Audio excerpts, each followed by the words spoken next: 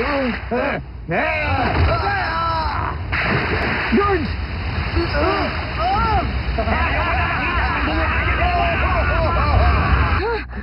George, nasaktan ka ba?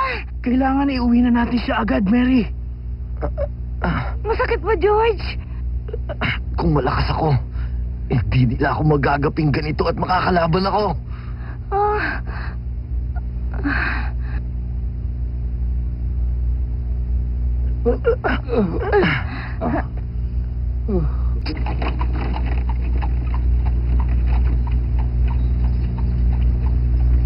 Lord Huntington, ipinasasabi po ni Binibining Mary na siya'y magbabakasyon muna sa kanyang tiyahin. Ganoon ba?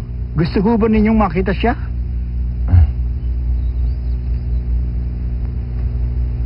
Hindi na kailangan. Ho? Pupunta ako sa ilalim ng kastilyo.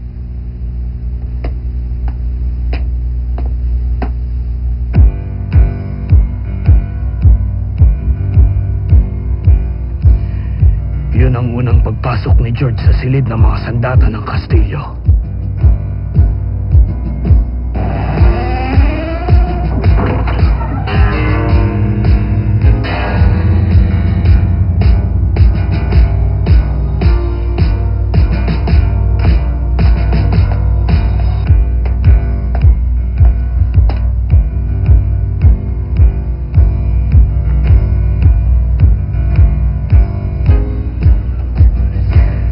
Hindi malinis ang puso, hindi papayagan ng langit na magamit ang pinagpalang busog at palaso.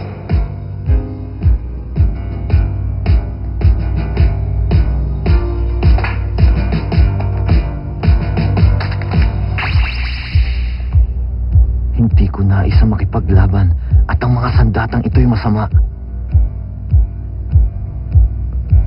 Ngunit ang pagtatanggol sa katarungan ang nagpipilit sa akin gamitin ito. Kailangan kong maging malakas.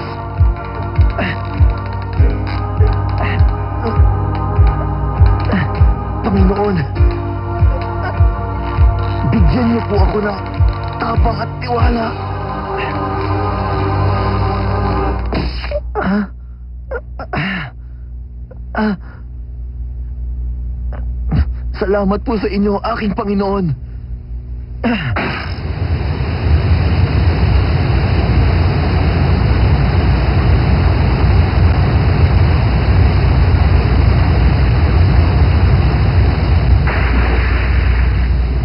Ang taong ito ay lumabag sa ipinag-uutos. Nahuli siyang umukuha ng halamang gamot at siya'y mananagot. Di tama yan! ah, isang kayo sa kanya! Bawa kayo sa kanya! Patawarin niya Ang siya! mga mag-iimag sikay bibitayin din. Kaya mabuti pa magsitahimik kayo. Bawa naman sa kanya. Bawa naman. Wala naman talaga sa kasalanan. Jaina! Ay! Naku po!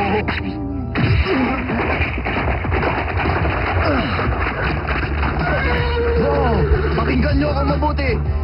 Hindi lamang kalikasan ang pinagmamalupitan ninyo, kundi pati mga taong naapi.